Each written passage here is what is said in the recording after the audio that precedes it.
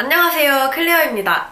오늘은 이렇게 파우치 속에 들어있는 제품들로 한번 메이크업을 해봤어요.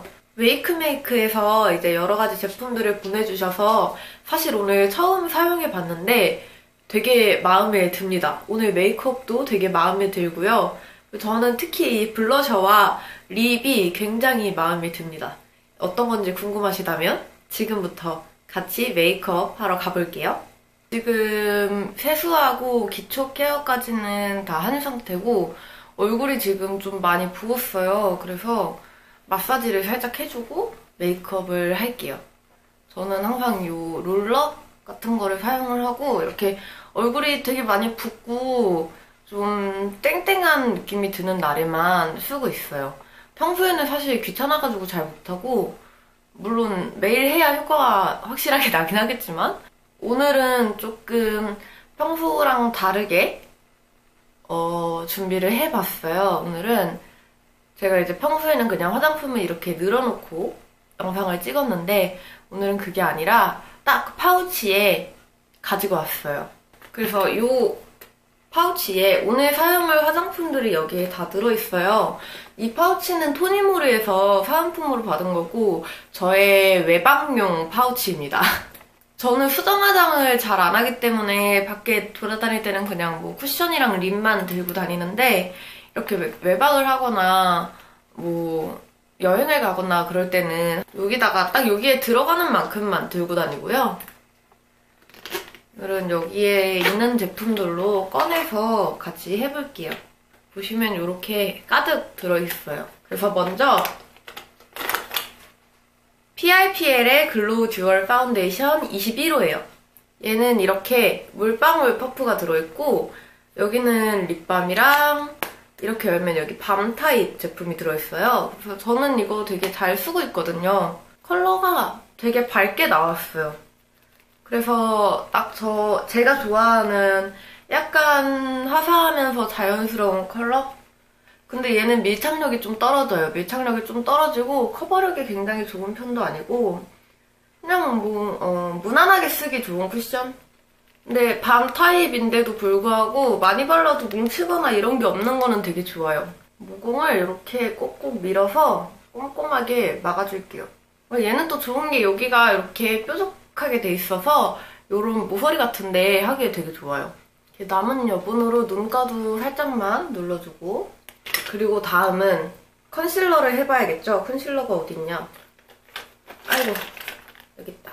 얘는 웨이크메이크 defining 커버 컨실러 13호예요. 이런 느낌의 약간 yellow빛이 많이 도는 컨실러예요. 그리고 되게 얇고 약간 꾸덕한 느낌? 저는 웨이크메이크 파운데이션이랑 lip은 써봤는데 되게 좋았거든요. 그래서 오늘 보내주신 것도 어떨지 조금 궁금합니다. 이렇게 쓱 써보면서 같이 얘기를 해보면 될 것 같아요. 커버력은 되게 좋은 것 같아요. 커버력은 괜찮은데 약간 matte한 느낌이 있어요. 그렇게 막 엄청 촉촉한 타입은 아닌 것 같고 제가 평소에 사용하던 컨실러들은 커버력이 그렇게 높지 않아도 되게 촉촉한 타입을 사용했는데 왜냐면 저는 이제 막 얼굴에 여드름이 나거나 뾰루지가 나거나 이러는 게 거의 없어서 그냥 좀 피부톤을 정리해 줄 수 있는 그런 느낌으로 사용을 했는데 이거는 정말 얼굴에 뾰루지 나고 여드름 나고 이런 분들이 사용하시면 더 좋을 것 같아요. 컨실러를 했으니까 일단 오늘은 스틱 타입의 제품으로 contouring을 먼저 해줄게요. 플레이 101 스틱 컨투어 듀오입니다. 저는 사실 여기 highlighter는 잘 안 쓰고 이 contouring 얘를 자주 써요. 그래서 얘를 코를 좀 만들어주고 하면 되게 이상한 얼굴이 되죠? 그리고 highlighter로 저는 눈썹뼈에 하이라이트를 넣는 걸 엄청 좋아해요.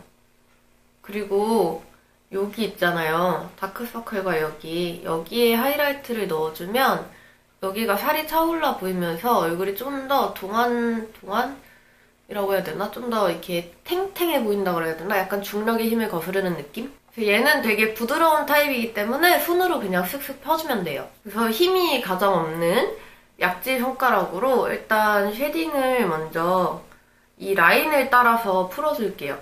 그리고 남은 걸로 눈가에도 한번 음영을 이렇게 주고 에뛰드 하니까 생각난 건데 제가 얼마 전에 에뛰드 플레이 콘서트를 갔다 왔어요. 핑크 플레이 콘서트인가? 아무튼 갔다 왔는데 진짜 저는 그렇게 사람이 많을 줄 몰랐어요. 근데 사람 진짜 많았고 그리고 이번에는 레드벨벳이랑 딘딘이랑 어 지코, 에디킴, 베이빌론 이렇게 오셔가지고 다 되게 재밌었어요. 그 동대문에 그러고 봤더니 끝나니까 막 그 뭐지 밤도깨비 야시장 그런 거 하더라고요. 그래서 거기서 뭐 밥도 먹고 그러고 왔어요. 아까 사용한 쿠션 퍼프로 한번 이렇게 눌러주면 얘가 딱 붙어요, 잘. 딱 얼굴에 딱 그 위치에 잘 안착이 돼서 이렇게 눌러줍니다. 파우더로 고정을 해줄 거예요. 파우더는 제가 이거 어제 살짝 써봤는데 이거 진짜 대박이었어요. 짜란. 웨이크 메이크 디파이닝 셋업 파우더 팩트 1호 웜 아이보리 컬러예요. 이 퍼프가 진짜 대박이에요. 얘가 느낌이 신기해요. 벨벳 퍼프 같아요, 진짜. 그리고 여기 손이 닿는 여기가 와 여기가 진짜 천국이에요. 이거 진짜 너무 부드러워, 대박. 그래서 저는 이 퍼프를 사용해서 여기 눈썹이랑 얼굴 외곽 부분에 네, 불필요한 유분기들을 살짝 눌러줄게요. 내부는 그냥 이런 파우더 팩트예요. 우리가 흔히 아는. 찔끔 묻혀서 이걸로 전 나머지 어, 유분을 커버해줄게요. 웨이크메이크 제가 사용해본 파운데이션은 되게 하얀 느낌의 컬러였는데 얘네는 또 색다른 느낌이네요. 눈가를 꼼꼼히 눌러주고 저는 눈썹을 되게 신경을 많이 쓰니까 여기를 꼼꼼히 눌러줘야 나중에 눈썹이 날아가 버리지 않죠. 이렇게 외곽은 그냥 이 퍼프에 남아있는 걸로 살짝만 확실히 밖에 들고 다니기에는 이런 팩트 타입이 좋은 것 같아요. 물론 파우더 가루가 있는 제품이 더 얇게 발리고 더 디테일하게 할 수 있는데 그거 어느 세월에 그 붓이랑 가지고 다니면 그거 막 파우치에서 열리거나 이러면 진짜 대참사잖아요. 이런 팩트가 더 나은 것 같아요. 컬러가 살짝 어두울까봐 걱정을 했는데 전혀 얼룩지지 않고 깔끔하게 발렸네요. 전혀 차이가 없죠? 아 그리고 제가 뭐 하나 알려드리자면 이렇게 저처럼 콧볼이 넓은 분들은 여기에 shading만 한다고 되는 게 아니에요. 우리가 이렇게 돌았을 때 빛이 반사되잖아요. 코 여기에서. 그럼 내가 실제 콧볼이 이만큼인데 shading을 해서 이만큼으로 깎아놨단 말이죠? 근데 그 shading 영역에 나중에 기름이 돌아서 빛이 반사되면 그대로 다시 커 보이는 거예요. 그래서 저는 코 벽을 꼭 이렇게 눌러줘요. 시간이 지나도 여기에 기름이 안 돌게. 이렇게 해야 나중에 이렇게 돌려도 이렇게 돌려도 내 shading이 좀 더 그림자 같아 보이는 그런 효과가 있는 거죠. 눈썹은 오늘 스킨푸드 초코 아이브로우 케이크 파우, 어, 아이브로우 파우더 케이크 이걸로 바를 거예요. 저는 항상 2호 그레이 브라운을 사용하고요. 그냥 어, 평소에 그리는 대로 그리고 여러분 눈썹을 그릴 때는 이렇게 보고 그려야 좀 더 양쪽을 맞게 그릴 수가 있어요. 원래 이 초코 아이브로우 파우더를 다 쓰면 색을 살려고 그랬는데 그냥 색을 사야 될 것 같아요. 이게 진짜 엄청 오래돼가지고 더는 쓰면 안 될 것 같아. 딱히 뭐 뾰루지가 나거나 그런 건 아니지만 일자로 저는 요즘에 이런 일자로 그리는 눈썹에 빠졌어요. 섀도우를 또 웨이크메이크에서 보내주신 세 가지가 있어요.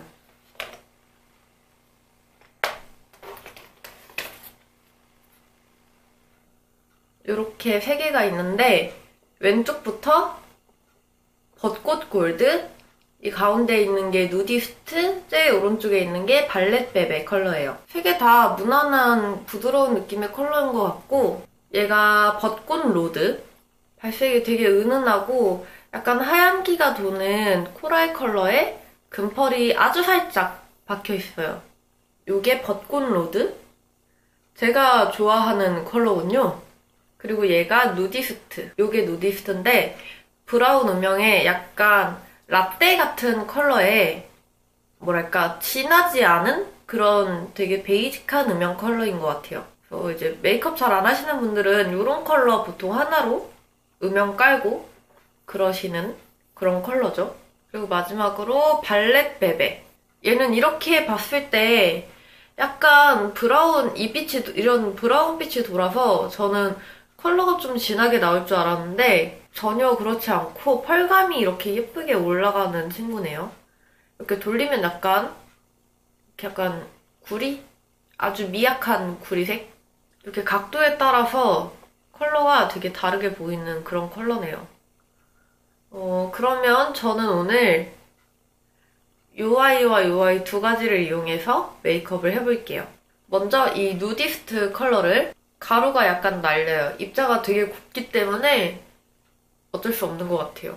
그래서 얘를 눈두덩에 이렇게 음영으로 깔아줄게요. 진짜 되게 부드러운 라떼 같은 컬러예요. 되게 진하지 않은 음영이라 무난하게 사용하기 좋은 것 같아요. 이렇게 살짝 이어서 콧대까지 살짝 음영을 넣어줄게요. 얘는 진짜 쉐딩으로 써도 좋겠다. 근데 약간 붉은기가 있어요. 오, 밀착력이 되게 좋아요. 아까 그렇게 브러쉬로 털었을 때는 가루가 막 날렸는데 눈에 막상 딱 올리니까 가루 날림이 없고 되게 밀착력이 잘 되고 손등에 발랐던 것보다 훨씬 더 발색이 잘 되는 것 같아요. 브러쉬로 바르니까. 은은한 듯 하면서 색깔은 잘 나오는 그런 느낌이네요. 그리고 작은 브러쉬로 언더에도 한 번 더 음영을 줄게요. 그리고 이 발렛 베베 컬러를 안쪽에 발라줄게요. 저는 이런 총알 브러쉬를 사용해서 쌍꺼풀 라인 안쪽으로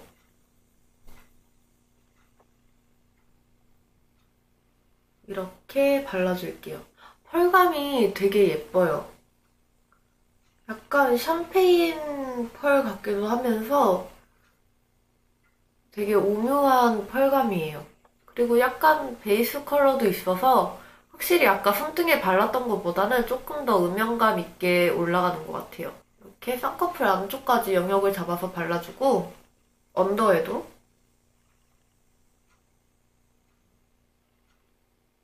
눈 앞머리에도 약간 연결해서 이렇게 발라주면 여기 하이라이트 효과가 들어가면서 눈이 조금 더 고급스러워 보이고 약간 더 앞쪽이 트여 보이는 효과도 있어요.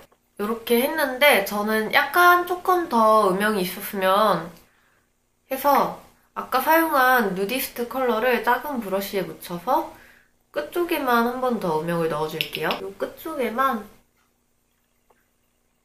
살짝 한 번 더 얹어줄게요.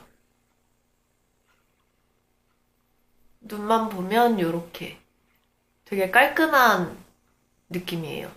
부드러우면서 깔끔한 느낌의 음영 메이크업이에요.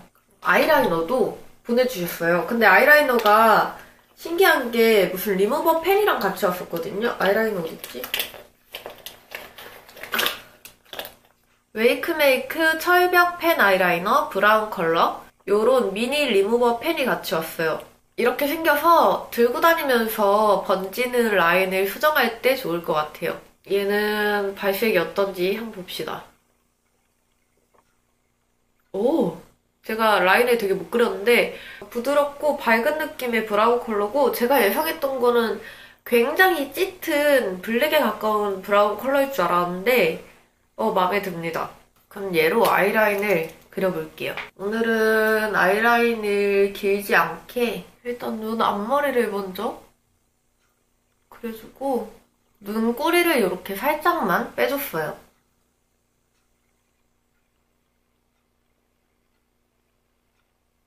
이렇게 눈꼬리를 아주 살짝만 뺀 아이라인을 그려줬고 속눈썹 사이사이도 채워주고 점막도 깔끔하게 이 붓펜 라이너로 메꿔줬어요. 오 이거는 진짜 신기한 게 붓펜인데 점막에 엄청 잘 그려져요. 그리고 아래 점막으로 번지거나 이런 것도 없고 되게 점막에 엄청 잘 달라붙어요. 젤라이너처럼.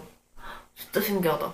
그 다음은 이제 뷰러로 속눈썹을 올리고 마스카라를 해줄 건데 제가 얼마 전에 뷰러를 하나 샀어요. 어 그때 급하게 뷰러를 사느라고 요 카이 뷰러 요거 유명하다 그래서 요걸 한번 사봤어요. 저는 뭐 그냥 저냥 쓸만한 것 같아요.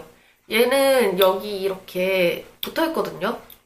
얘를 요거를 뚝 내리면 이렇게 손잡이가 되는 손잡이라고 해야 되나? 아무튼 그런 게 되는 건데 얘는 약간 속눈썹이 꺾여요. 제가 힘 조절을 잘못하거나 그러면 속눈썹이 확 꺾어, 꺾, 꺾여버려가지고 말이 왜 이렇게 안 나오지? 속눈썹이 확 꺾여가지고 좀 잘 써줘야 되는 것 같아요. 그리고 약간 이 앞에 있는 속눈썹들과 저 끝에 있는 속눈썹들이 잘 안 올라가요. 처음에는 이렇게 신기하게 생겨서 좀 무서웠거든요. 내 살을 찝어버릴까봐. 근데 그냥 이렇게 뭐 밖에 외출용으로 들고 다니기에는 크기도 조그맣고 해가지고 괜찮은 것 같아요. 이렇게 속눈썹을 올려주고 마스카라는 오늘 요거를 쓸 거예요. 페리페라 잉크 블랙 카라 볼륨 세팅. 얘로 속눈썹을 꼼꼼하게 올려줍니다. 얘는 진짜 대박이에요. 진짜 완전 꼼꼼하게 한 올 한 올 자연스럽게 올려주는 마스카라. 오늘은 또 뭘 입어야 할지 고민이 되네요. 딱히 멀리 나가는 건 아니고 그냥 잠깐 볼 일이 있어서 나가는 거라 언더에도 이렇게 아이 메이크업은 완성이에요. 그러면 이제 블러셔랑 립을 바르면 끝날 것 같은데 블러셔도 이렇게 웨이크메이크 컬러 스타일러 멀티치크 얘는 OR02호래요. 팁 브러쉬로 되어 있고 이 컬러인데 약간 살구색과 오렌지색을 섞어놓은 느낌으로 되게 맑고 투명하고 수채화 같은 그런 발색이 되는 것 같네요. 그러면 얘를 얼굴에 발라주겠습니다. 이렇게 찍어주고 손으로 살살 펴줄게요. 여러분 이거 향이 옛날에 그 미피펜 아세요? 미피펜 향기 나는 미피펜? 그 냄새가 나요. 대박 추억의 냄새. 어, 베이스가 딱히 벗겨지지도 않고 되게 자연스럽게 올라가는데 약간 발색이 진하지는 않은 느낌이 있어요. 제가 이거는 개인적인 취향일 수도 있어요. 저는 블러셔를 강하게 올리는 걸 좋아하니까 그럴 수도 있는데 진짜 자연스러운 느낌이에요, 엄청. 한 번 더 올려줄게요. 어, 전체적으로 웨이크메이크 제품들이 메이크업 초보분들이 사용하시기에 되게 좋을 것 같아요. 이렇게 발색이 빡 강하게 나거나 그런 게 아니라서 여러 번 올려도 밀리거나 그러지 않고 약간 보시면 여기 피부에 이렇게 블러셔를 올린 자리에 광택이 돌아요. 실제로도 이렇게 보면 광택이 돌아요. 정말 이렇게 수분을 머금은 것처럼. 그리고 마지막 립을 바를 건데 립도 이렇게 두 개를 보내주셨어요. 웨이크메이크 수분톡 틴트 스틱. 얘가 복숭아톡, 얘가 자몽톡. 이것도 제가 어젯밤에 자기 전에 살짝 발라봤는데 이게 자몽톡이에요, 컬러가. 약간 레드가 살짝 도는 오렌지. 그리고 얘가 복숭아톡이에요. 살짝 형광기가 도는 핑크. 얘가 복숭아, 얘가 자몽. 오, 이거는 껌, 껌 냄새가 나네요.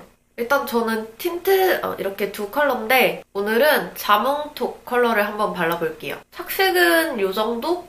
근데 제가 지금 너무 바로 지워서 그런 걸 수도 있는데 착색이 많이 남는 편은 아니고 핑크 착색도 아니에요. 보면 여기 자몽톡은 오렌지로 남았고 복숭아 톡은 핑크로 남았으니까 원래 색깔 그대로 착색이 된 것 같아요. 저는 수분 그 틴트 스틱이라 그래서 약간 투명하게 발리는 그러니까 되게 립밤 같은 제형의 틴트일 줄 알았는데 전혀 그렇지 않아요. 발색이 굉장히 짱짱하고 립밤보다는 립크레용 같은 느낌?